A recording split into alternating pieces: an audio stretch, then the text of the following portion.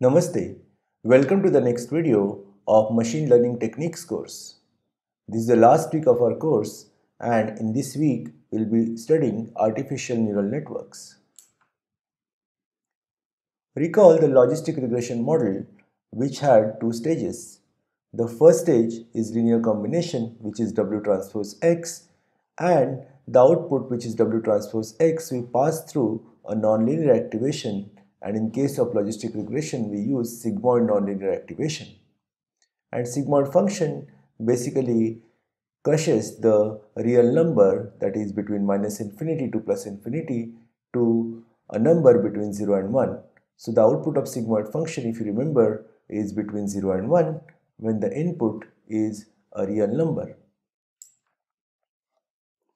So in case of logistic regression, basic unit of computation had two parts. One is linear combination and second is nonlinear activation. So let's see where does the neuron enter in the picture.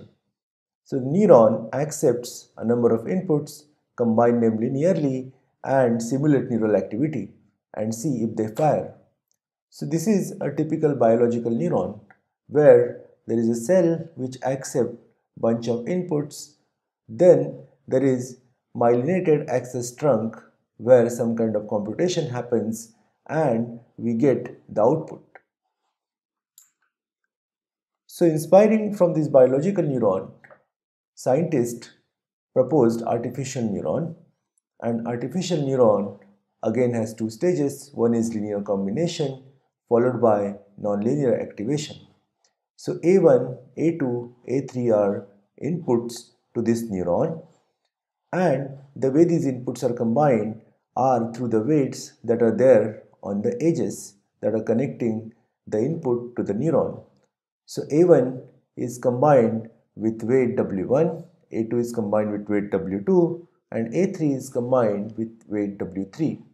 So we have Z which is the intermediate output or output of linear combination is equal to W1A1 plus W2A2 plus W3A3 plus B and B is the bias.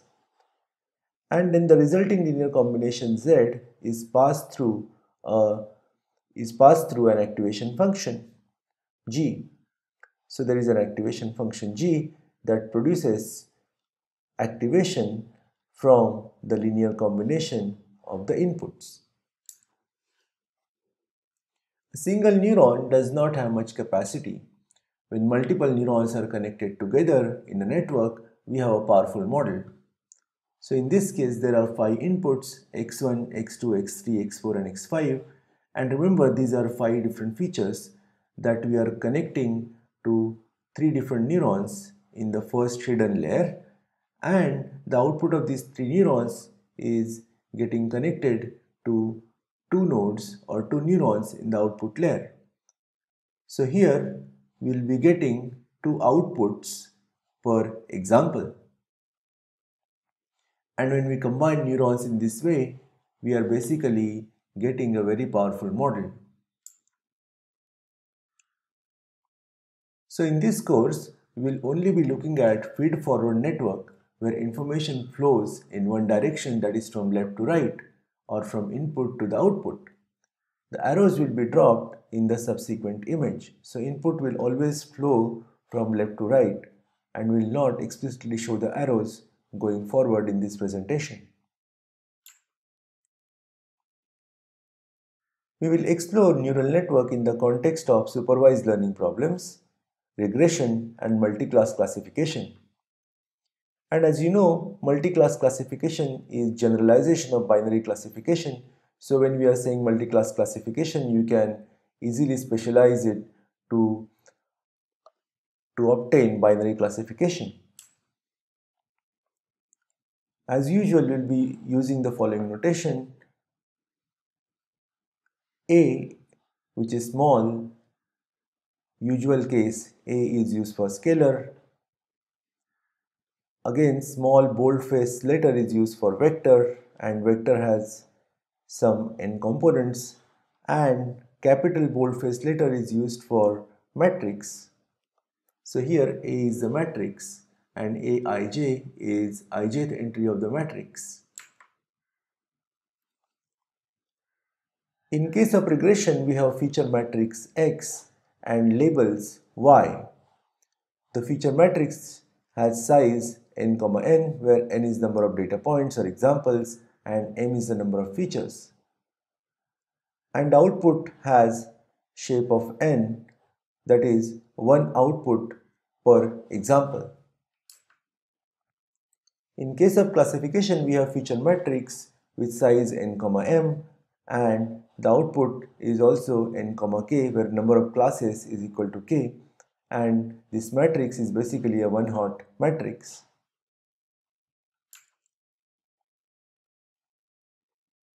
So neural network is basically a black box model where we take input in m dimensional space and produce output in k dimensional space. So input is vector x and output is vector y. So this black box model produces a label, a real number for regression and a vector for classification where this vector contains a probability distribution over k classes.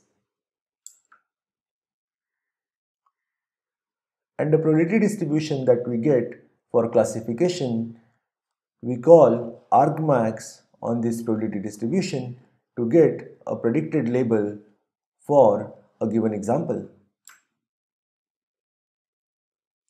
Let's try to understand what happens under the hood of neural network. So the question that we are interested in is how does a neural network transform the input to the output? So remember the forward pass which takes features in the input layer then it passes through bunch of neurons in the in the hidden layer and the output of the hidden layer is passed through the output layer that gives us the final output. So the network has a sequence of layers. The input to the network passes through these successive layers. Each layer transforms the input from the previous layer with the help of weights and activation functions. The entire process is termed as a forward pass. To understand how forward pass works, we need to study three components of a network which are layers, weights and biases and activation functions. There are three kind of layers in the network. The first is the input layer, second is the hidden layer and third is the output layer. Input and output layers are fixed. The number of hidden layers can vary. The network that is shown over here has got two hidden layers. The first hidden layer has four neurons and the second hidden layer has got three neurons. The layers are indexed using L where L is between 0 to L and the capital L is a hyperparameter which is the number of layers. The layer 0 is always the input layer and layer L is the output layer. In between input and output, there could be multiple, multiple hidden layers. In general, the layer L denotes Lth hidden layer. The size of the layer or the number of neurons in each layer is also an hyperparameter. So S0 equal to M is number of input features. So the number of neurons in the input layer is equal to number of features in the input. Number of neurons in each of the hidden layer is specified by hyperparameters. And for the output layer, for a regression problem, we use a single neuron, whereas for classification problem, we use k different neurons. So weights determine the importance of the connection or the edges between neurons. So in general, we are connecting input from layer L minus 1 to layer L.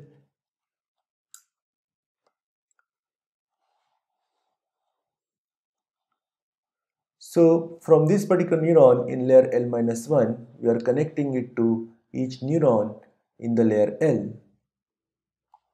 And there are these two edges and on each of these edges there will be weights. In the same manner, this particular neuron will also be connected to the second neuron in layer L. So at layer L, the total number of weights is equal to SL minus 1 into SL. These weights can be neatly packed into matrix WL and the matrix WL will have size SL minus 1 into SL. So in this case there are there are three inputs from SL minus 1 there are three activations from layer SL minus 1 which is input to layer L. And you can see that the weights for each of the unit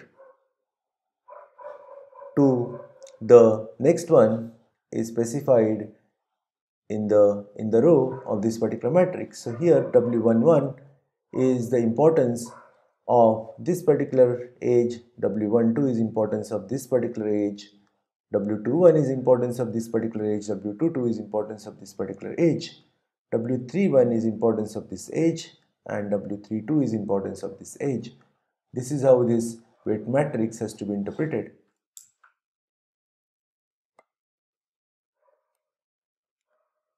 In addition to weights, there are biases.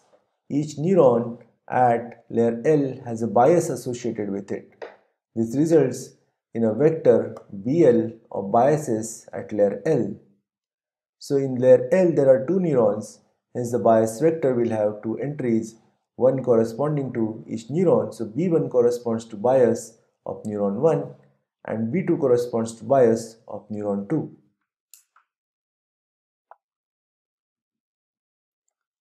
So let's again recall what happens in case of a single neuron. There is a linear combination or pre-activation. We compute Z as W1A1 plus W2A2 plus W3A3 plus B that is Z which is linear combination of inputs and this linear combination is passed to nonlinear transformation G to obtain an activation.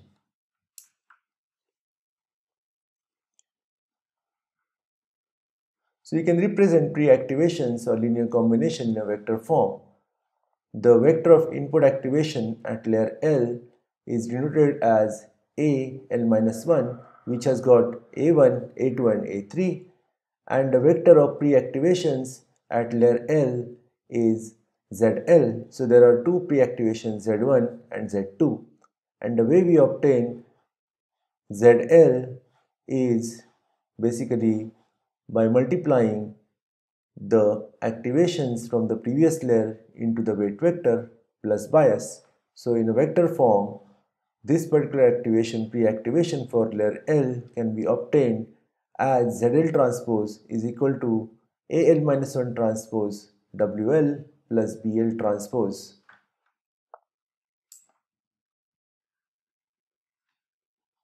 And you know that ZL has shape n into SL this activation from the previous layer had shape n into SL minus 1 WL has shape SL minus 1 into SL and BL has shape SL and you can verify that this particular operation on the right hand side results indeed into a matrix of size n cross SL.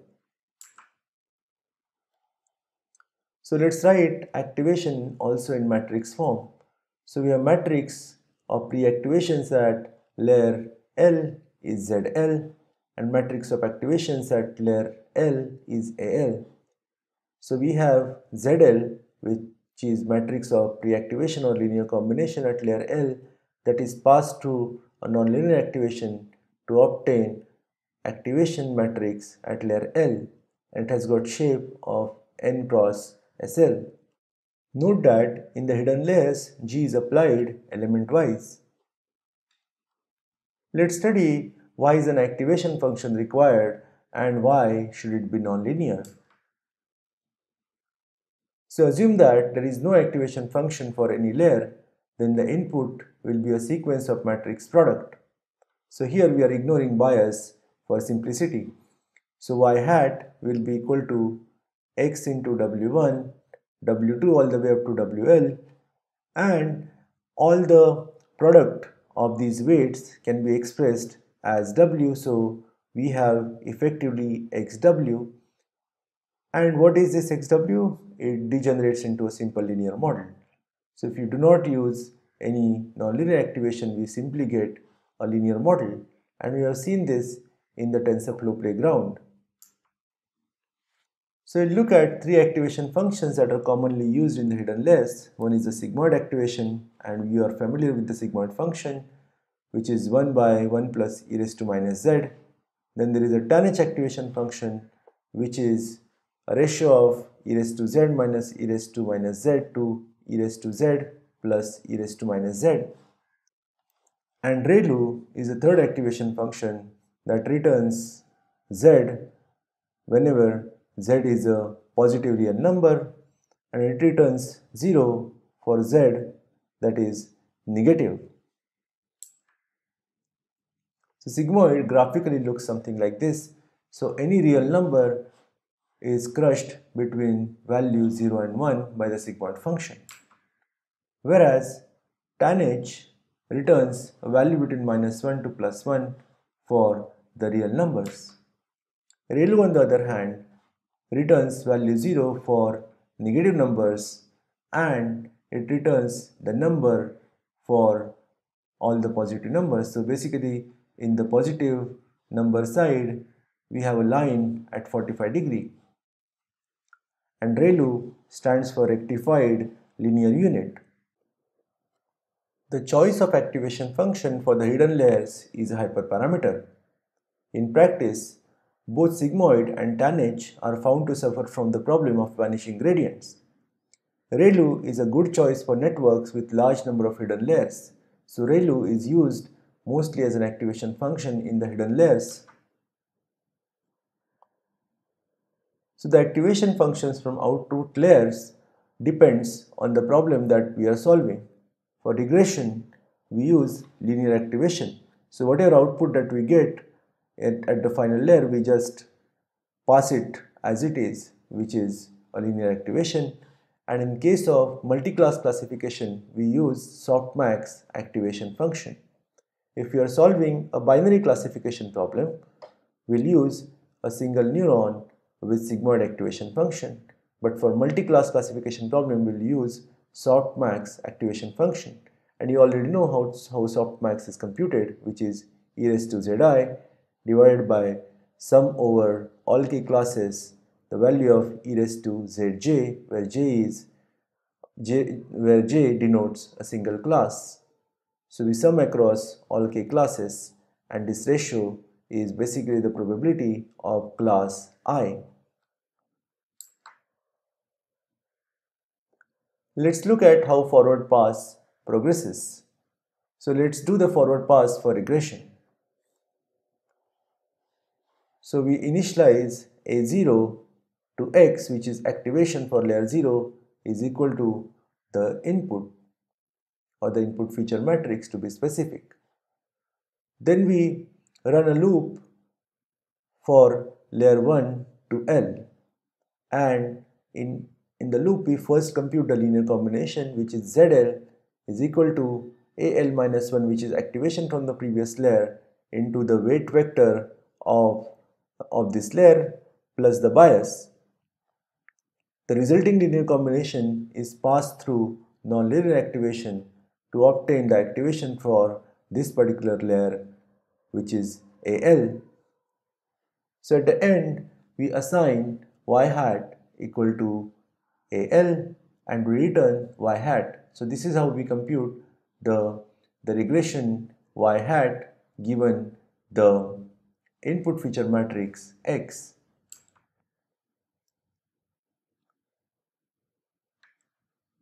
So here note that output layer has a single neuron and G is the identity for the output layer. X has size n cross m and Y has size of n and AL is a matrix of size n cross 1.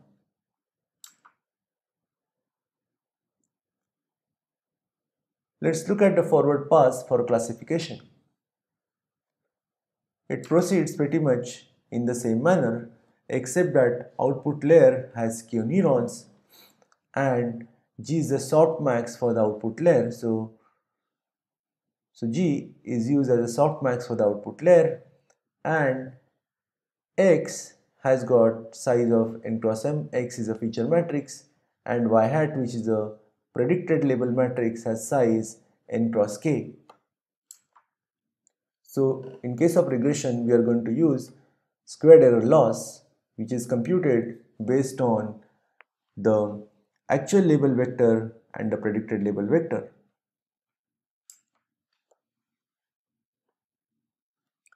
So we can calculate this in NumPy as 0.5 into np.sum and the square of difference between the predicted value and the actual value. In case of classification, we use categorical cross entropy loss And here this equation if you want to understand we can see that an and ak are vectors of ones of size n and k and m is the if the m or this matrix is of size n cross k then 1 into m into 1 is the sum of all elements in the matrix and this particular operator over here is element wise product. So in NumPy this simply gets converted as negative sum of y into log of y hat